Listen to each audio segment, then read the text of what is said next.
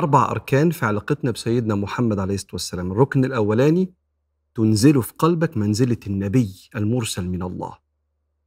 رقم اتنين استمر في رحلة التعرف عليه والتعلق بيه وحبه رقم ثلاثة ثق.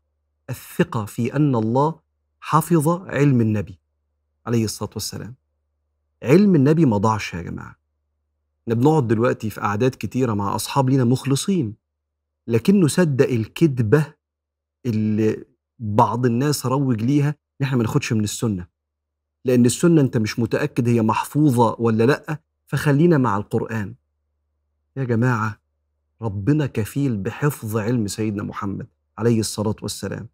مش ممكن يكون ربنا بعت نبي وبعت معاه قرآن وتصرفاته كلها هي تطبيق القرآن يضيع الكلام ده وربنا لا يتكفل بحفظه.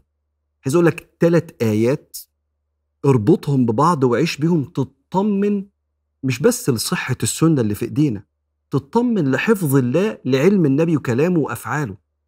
الآية الأولى إنا نحن نزلنا الذكر وإنا له لحافظون. يا جماعة الذكر قرآن وسنة مش القرآن بس.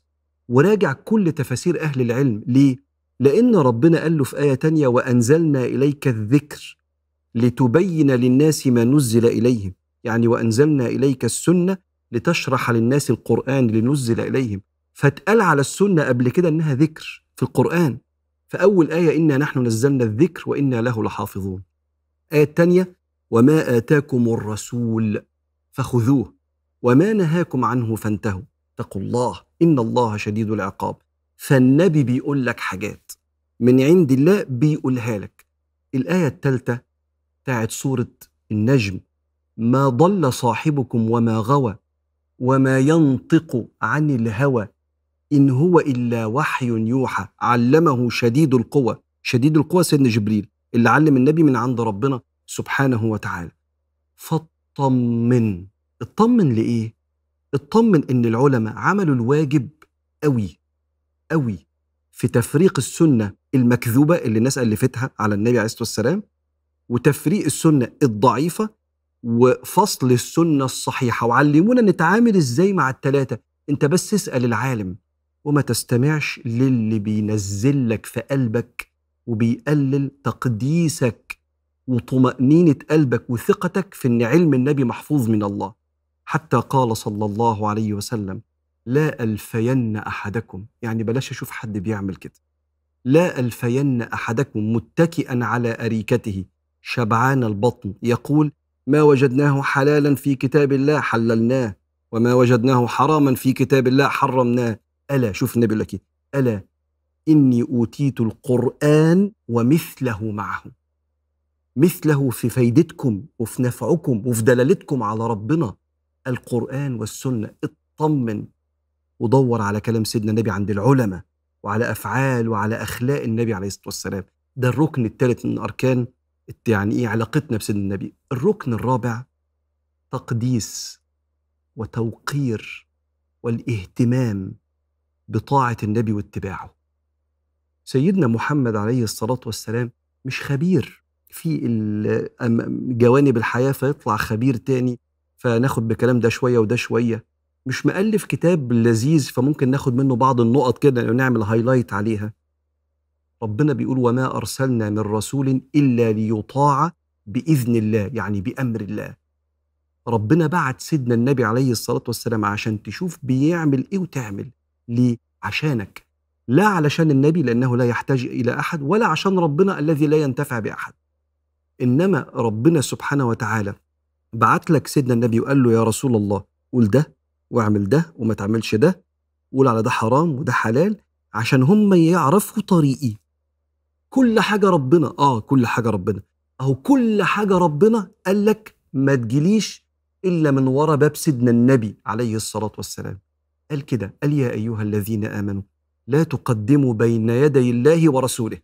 اتقوا الله. إن الله سميع عليم. يعني ما تقدمش رأيك قدام رأي ربنا والنبي عليه الصلاة والسلام. رأي ربنا ورأي سيدنا النبي الأول. يا أيها الذين آمنوا لا ترفعوا أصواتكم فوق صوت النبي.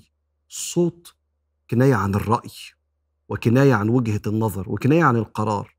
أنا صوتي ما يعلاش على صوت النبي عليه الصلاة والسلام. النبي قال يمين أقول له حاضر قال شمال أقول له حاضر مش قادر أقول له سامحني يا رب إني مش قادر لكن ما أقولش أنا شايف إن في العصر اللي إحنا فيه سيدنا محمد أيام زمان من 1400 سنة كان ربنا بعت نبي تاني. لكن بما إن سيدنا النبي خاتم النبيين يبقى إحنا معتقدنا في سيدنا النبي إن كلامه إلى أن تقوم الساعة متسق معانا. وبالتالي لما ربنا قال لا ترفعوا أصواتكم فوق صوت النبي ولا تجهروا له بالقول. عارف أنت بتجهر بالقول لمين؟ لواحد ند زيك فتقول له استنى استنى. أو لا بس شوف أنا عايز أقول لك حاجة. إحنا مع بعض كده. لكن سيدنا النبي مش كده. حتى شوف الآية ولا تجهروا له بالقول كجهر بعضكم لبعض. أنا ممكن أتناقش معاك. واطلع غلط أو أنت تطلع غلط ودينا أهو بنحاول نساعد بعض حاطين دماغنا على بعض كده وبنتشاور. بس أنت لو أمهر طبيب في العالم وأنا غلبان على قدي ما ينفعش أحط دماغي بدماغك لو بنتكلم في الطب.